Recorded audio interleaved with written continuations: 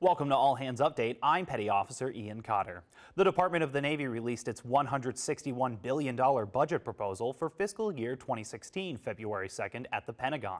The budget request was guided by Navy and Marine Corps senior leadership's implementation of strategic guidance, fighting terrorism, and providing a stabilized presence across the globe. This is part of the $534.3 billion defense budget submitted to Congress by President Barack Obama. This year's submission will cover nine proposed new ships in 2016, sustaining the fleet that is projected to reach 304 ships by 2020. Additionally, this proposal will assist operations and maintenance, research and development, and fund USS George Washington's midlife refueling. The 2016 budget balances sustaining our forces today and for the future. For more information and to view the budget proposal, visit the Navy Live blog.